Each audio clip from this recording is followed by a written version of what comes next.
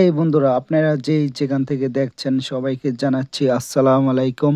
আশা করি আপনারা সকলে অনেক অনেক ভালো আছেন। আলহামদুলিল্লাহ, আপনাদের দোয়ায় আমিও অনেক ভালো আছি।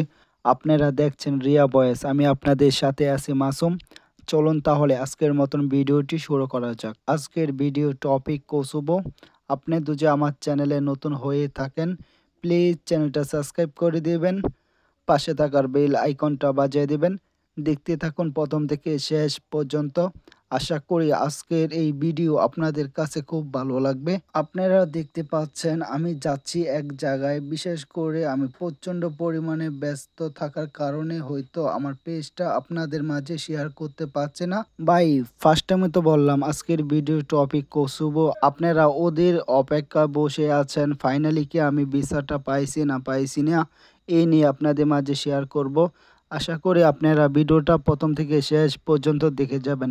বিশেষ করে আপনারা সবাই জেনে থাকবেন, আমার আছে না, যেই দিন আপনার ভিসা ডেলিভারি নেওয়ার কথা ছিল, ওই দিন কিন্তু আপনার ঢাকা যে অ্যাম্বাসিটা বন্ধ ছিল, আপনারা সবাই জেনে থাকবেন আঠাইশ তারিখে কিন্তু বিএমপি যে সমাবেশ ছিল, এর জন্য বিশেষ করে আমি ঢাকা থেকে ভিসাটা সংগ্রহ করতে পারি না উনত্রিশ তারিখেও আপনার অবরোধ ছিল এবং কি তারও কিন্তু পরের দিন এম্বাসি বন্ধ থাকার কারণে আমি কিন্তু ভিসাটা সংগ্রহ করতে পারি নাই আপনার আছে না, এখন কিন্তু ভাই তিন দিনে অবরোধ। আমি জানি না আমার যেই ভিসাটা কবে আমি সংগ্রহ করতে পারব, এই নিয়ে আমি খুব টেনশন কাজ করছে আমার মাঝে।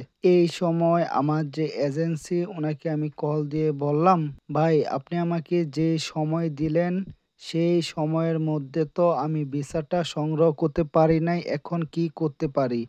উনি আমাকে বলল, টেনশনে কোনো কারণ নাই, শীঘ্রই তোমার যে ভিসাটা তুমি সংগ্রহ করতে পারবা। ওনাকে আমি প্রশ্ন করলাম, ভাই, আপনি তো ভাই আমাকে বললেন নভেম্বর মাস থেকে এম্বাসি বন্ধ, তাহলে আমি কেমনে ভাই ভিসাটা সংগ্রহ করব।